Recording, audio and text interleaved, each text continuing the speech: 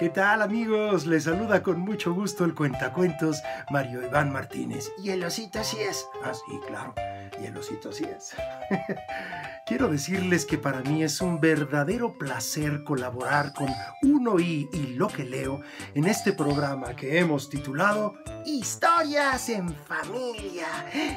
Porque ahora que estamos encerrados, no agarrar bichas, aprovechemos el tiempo, aprovechemos ese tiempo para descubrir juntos un libro, un cuento, una fábula que nos haga reflexionar, soñar despiertos y echar a volar nuestra imaginación.